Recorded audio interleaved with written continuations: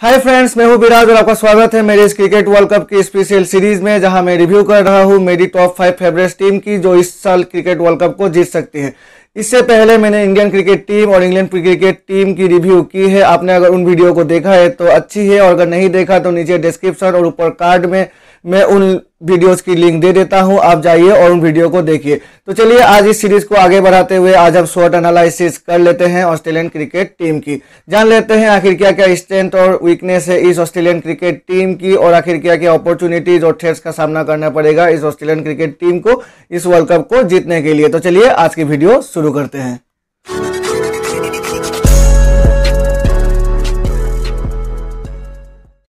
Australia cricket team अपनी इस world cup की शुरुआत करेगी 1 जून 2019 को अफ़गानिस्तान के विरुद्ध उसके बाद 6 तारीख को खेलेगी वो वेस्ट इंडीज के विरुद्ध 9 तारीख को भिड़ेंगी इंडिया के विरुद्ध उसके बाद 12 तारीख को खेलेगी पाकिस्तान के विरुद्ध उसके बाद खेलेगी 15 तारीख को श्रीलंका के विरुद्ध फिर 20 तारीख को खेलेगी बांग्लादेश के विरुद्ध उसके बाद 25 तारीख को ऑस्ट्रेलिया खेलेगी इंग्लैंड के विरुद्ध 29 तारीख को भिड़ेंगी अपने आर्क राइवल न्यूजीलैंड के विरुद्ध और उसके बाद अपने लीग फ़ेज़ की जो समाप्ति करेगी वो करेगी 6 जुलाई 2019 को साउथ अफ्रीका के विरुद्ध। तो इस तरह ऑस्ट्रेलिया अपने लीग फ़ेज़ में नौ मैचेस खेलेगी और उस नौ मैचेस में से ऑस्ट्रेलिया को मिनिमम छह मैचेस जीतना ही है, अगर उनको सेमीफाइनल के लिए क्वालिफाई करना होगा तो।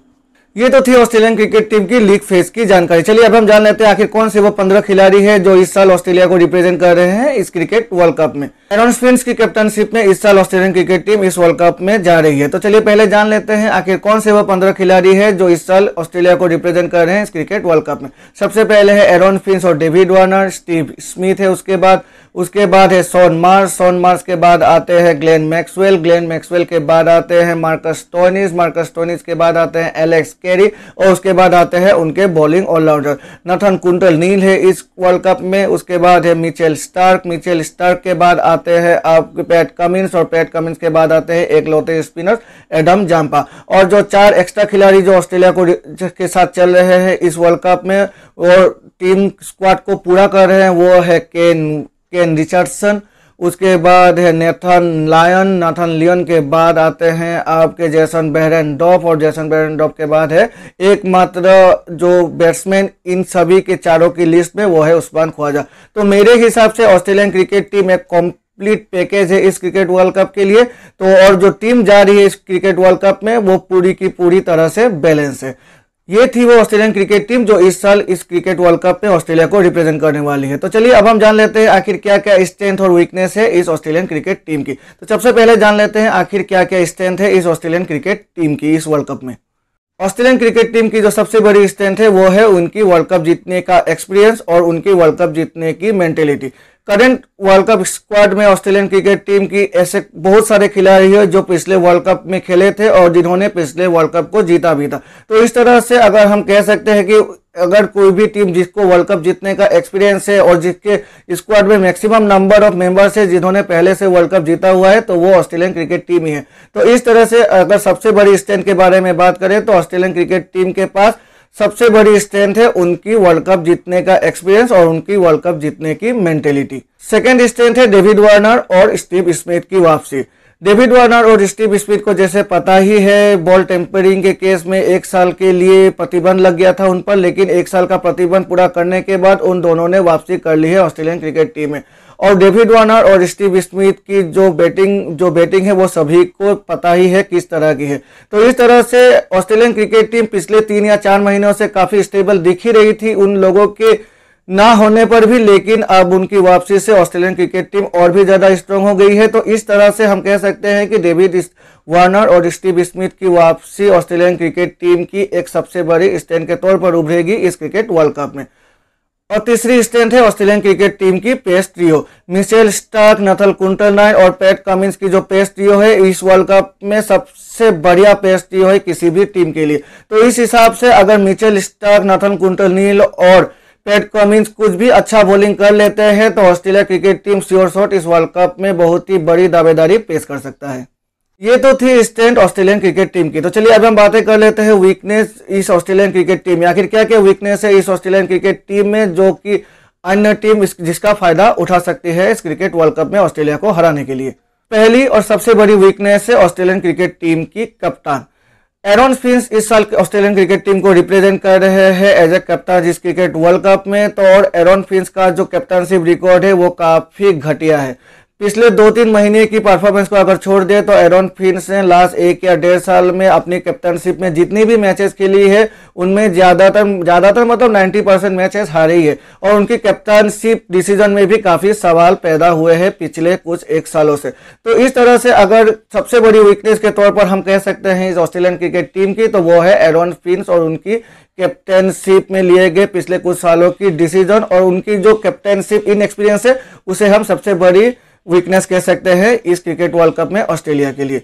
दूसरी दूसरी जो वीकनेस इस ऑस्ट्रेलियन क्रिकेट टीम में दिखाई देती है, वो है absence of a quality spinner Australian cricket team में कोई भी एक ऐसा स्पिनर नहीं है जिसको हम क्वालिटी स्पिनर के तौर पर कह सकते हैं। नाथन लियन और एडम जंपा को एज ए स्पिनर लिया गया है इस ऑस्ट्रेलियन क्रिकेट टीम में, और ग्लैन मैक्सवेल भी थोड़ी गेंदबाजी कर लेते हैं स्पिन गेंदबाजी कर लेते हैं। कुछ मैचों में वो गेंदबाजी करेंगे भी, लेकिन अगर क्वालिटी स्पिनर की कैटेगरी में उनकी गिनती करें तो एडम जम्पा नेथन लियोन और ग्लेन मैक्सेल कहीं भी नहीं टिकते। और जैसे कि हमें पता ही है इंग्लैंड की पिच जैसे जैसे वर्ल्ड कप चलती रहेगी इंग्लैंड की पिच धीमी होती रहेगी और स्पिनर्स को मदद मिलती रहेगी। तो इस तरह से जैसे जैसे टूर्नामेंट आगे बढ़ता रहेगा ऑस्ट्रेलिया ऑस्ट्रेलिया को क्वालिटी स्पिनर्स की कमी खेलेगी ही खेलेगी इस क्रिकेट वर्ल्ड कप में। और तीसरी वीकनेस है स्टीव स्मिथ और डेविड वार्नर की वापसी। डेविड वार्नर और स्टीव स्मिथ की वापसी को जिस तरह से हम एज ए स्टैंड देख सकते हैं, ठीक इसके उलट इसे हम एज ए वीकनेस भी देख सकते हैं इस ऑस्ट्रेलियन क्रिकेट टीम की।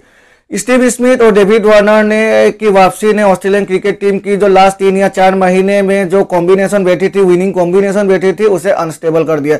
जिसके चलते पीटर हैंसकॉम को बैठना पड़ा है। इस वर्ल्ड कप में उन्हें इस स्क्वाड के साथ नहीं लिया गया है। और जो उस्मान ख्वाजा जो सबसे कंसिस्टेंट बैट्समैन थे लास्ट छह महीने में इस ऑस्ट्रेलिया के लिए, उन्हें भी मुझे लगता है इस वर्ल्ड कप में थोड़े ही मैच खेलने मिलेंगे क्योंकि स्टीव स्मिथ की वापसी हो चुकी है और as a opener David Warner की भी वापसी हो सके। तो इस तरह से ये भी इफ़ेक्ट करेगा ऑस्ट्रेलियन क्रिकेट टीम की जो टीम मेंटेलिटी है उस पर। ये थी स्ट्रेंथ और वीकनेस इस ऑस्ट्रेलियन क्रिकेट टीम की। तो चलिए, अब हम बातें कर लेते हैं आखिर क्या क्या अपॉर्चुनिटीज़ मिलेगी ऑस्ट्रेलियन क्रिकेट टीम के प्लेयर्स को इस वर्ल्ड कप में अपने परफॉर्मेंस के ज़रिए पूरे वर्ल्ड को दिखाने की। सबसे पहले अपॉर्चुनिटी मिलेगी एरॉन फिंस को। एरॉन फिंस जैसे कि मैंने पहले ही बताया एरॉन फिंस की कैप्टनशिप इतनी अच्छी नहीं रही है ऑस्ट्रेलिया के लिए। तो एरॉन तो ये जो वर्ल्ड कप है, वो एरॉन फिंस के लिए बिल्कुल ही सही प्लेटफॉर्म है अपनी कैप्टनशिप कैपेबिलिटी को दिखाने की और अपनी कैप्टनशिप कैपेबिलिटी के साथ साथ अपनी बैटिंग से भी पूरे वर्ल्ड को दिखाने की कि बड़े मैचों में एरॉन फिंस अच्छा परफॉर्मेंस कर सकते हैं। दूसरी अपॉर्चुनिटी मिलेगी स्टीव स्मिथ और डेविड वार्नर को। स्टीव स्मिथ और डेविड वार्नर एक साल के प्रतिबंध के बाद ऑस्ट्रेलियन क्रिकेट टीम में वापसी कर रहे हैं। तो सबकी निगाहें उन दोनों पर ही होगी, क्योंकि उन दोनों ने अपनी जो आईपीएल परफॉर्मेंस है, उस पर डेविड वार्नर ने तो थोड़ी सी प्रभावित की है, लेकिन स्टीव स्मिथ ने प्रभावित नहीं किया है और उनके फॉर्म में अभी भी सवाल है।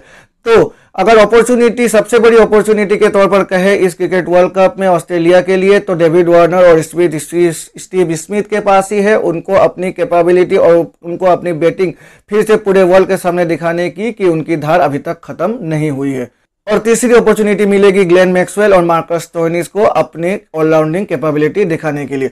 मार्कस टोनिस और ग्लेन मैक्सवेल को हम ऑलराउंडर की कैटेगरी पे नहीं गिनती कर सकते, लेकिन उन प्रत्येक मैचों में ही ऑस्ट्रेलिया के लिए बैटिंग करेंगे और बैटिंग के साथ साथ बॉलिंग भी करेंगे।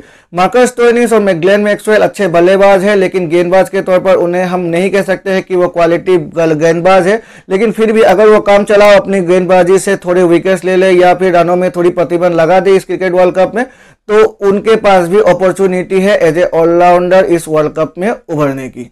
ये थी वो अपॉर्चुनिटी जो ऑस्ट्रेलियन प्लेयर्स को मिलेगी इस क्रिकेट वर्ल्ड कप में अपने प्रदर्शन के ज़रिए पूरे विश्व को दिखाने के लिए। तो चलिए अब हम बातें कर लेते हैं आखिर कौन कौन से थ्रेट्स इस ऑस्ट्रेलियन क्रिकेट टीम को फेस करनी पड़ेगी अगर उन्हें इस क्रिकेट वर्ल्ड कप को जीतना है तो।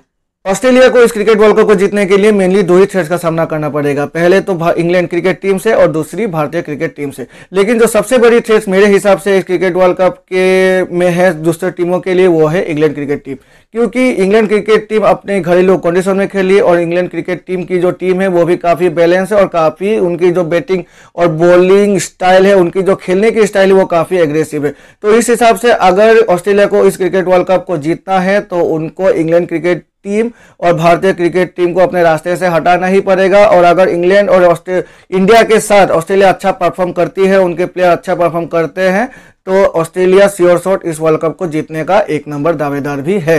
तो इस हिसाब से अगर ऑस्ट्रेलिया को इस वर्ल्ड कप को जीतना है तो उन्हें इंग्लैंड से और भारत से अपने मैचेस जीतने ही होंगे। और और जो उनकी, जो बिग मैचेस मेंटेलिटी है, वो मेरे हिसाब से बाकी सभी नौ टीमों के हिसाब से काफ़ी अच्छी और काफ़ी बढ़िया है। तो उस हिसाब से हम कह सकते हैं कि ऑस्ट्रेलिया वन ऑफ़ द दावेदार है इस क्रिकेट वर्ल्ड कप को जीतने के लिए।